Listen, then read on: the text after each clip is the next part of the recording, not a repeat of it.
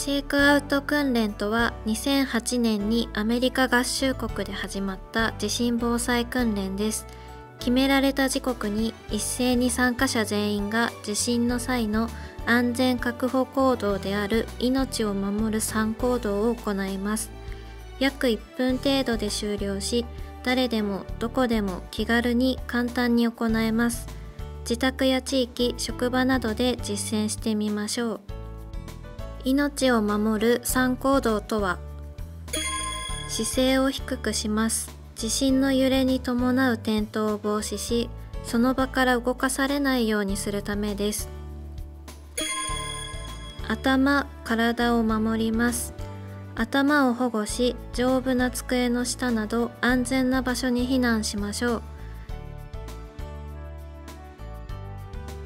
近くに隠れる場所がない場合は手や腕手持ちのカバンや本などで頭を覆うダンゴムシのポーズをとってください。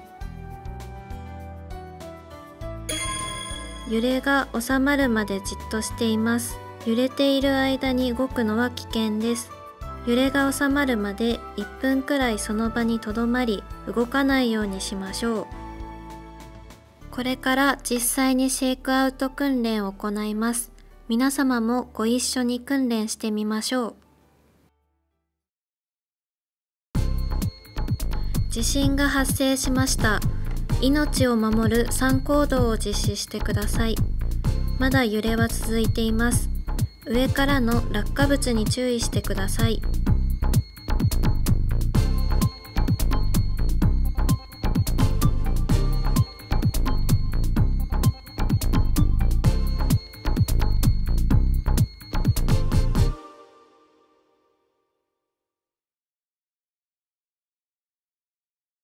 訓練終了です。いかがでしたか？とても簡単に実施できるので、ご自宅や地域、職場などでぜひ実施してみてください。プラスワン訓練シェイクアウト訓練を実施したら、プラスワン訓練としてご自宅、地域、職場などの安全確認をしましょう。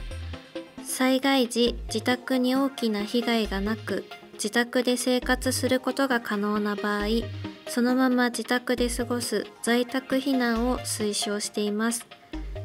在宅避難をするためご自宅や職場の安全を一緒に確認してみましょう。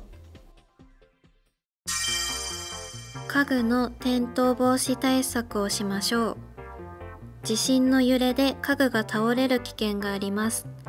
突っ張り棒などの対策や家具の配置を見直すなど対策をしましょう。備蓄をしましょう。自宅や職場などで備蓄はしていますか家族の人数 ×7 日分の備蓄を推奨しています。また備蓄をしていても消費期限の確認はしていますか地震が発生した場合の連絡体制を確認しましょう。事前に家族で集合する場所などを決めておきましょう。職場では従業員の安否情報を確認する方法を決めておきましょう。また災害用伝言ダイヤル171は互いに通話できなくてもメッセージを残したり聞いたりすることができます。